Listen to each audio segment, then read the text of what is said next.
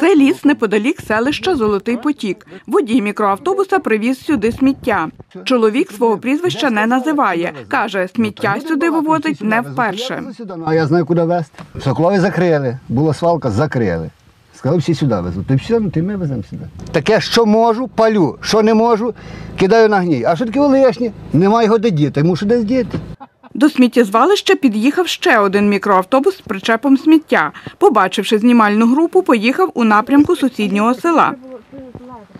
Житель Золотого потоку Роман Лебухорський розповідає, це найбільше сміттєзвалище в межах лісової зони селища. Сюди звозять сміття жителі довколишніх сіл, каже чоловік.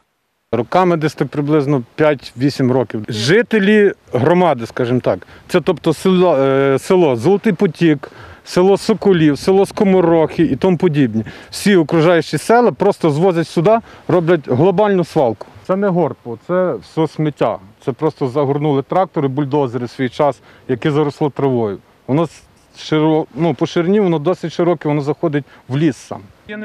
Роман Лебухорський викликає поліцейських, щоб скласти акт про стихійне сміттєзвалище. Поліцейський Володимир Шкварок затримує чоловіка, який привіз сміття із сусіднього Соколова. А куди буду вивозити? Я не знаю, от вдома порізали корчі і вдома висипати, а так забираю додому, вдома буду палив.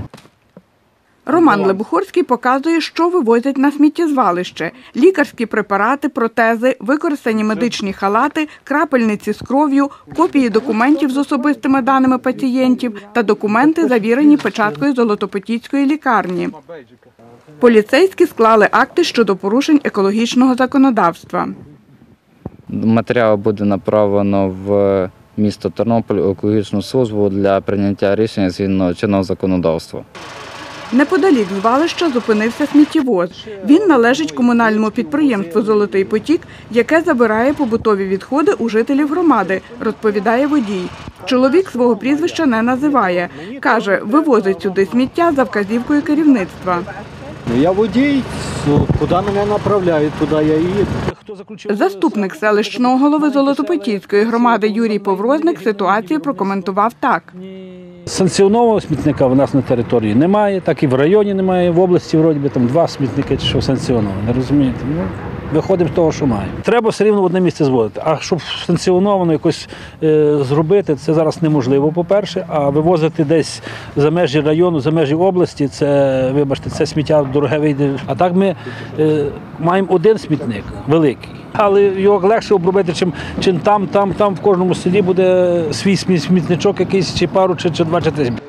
Начальник Держекоінспекції області Олег Нитка каже, екоінспектори можуть притягнути винних до адміністративної відповідальності за неналежне поводження з відходами. На кого складати адміністративні протоколи, мають визначити поліцейські. Нашими інспекторами було здійснено виїзд за вказаною адресою за на, цю територію. Було підтверджено дану інформацію. Санкція статті е, за неправильне поводження з відходами Кодексу України про адміністративні правопорушення є е, досить такою невеликою.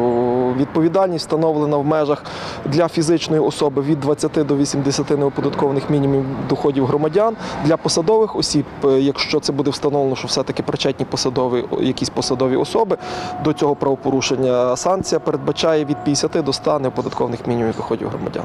Любов Гадомська, Андрій Прокопів. Новини на Суспільному. Тернопільщина.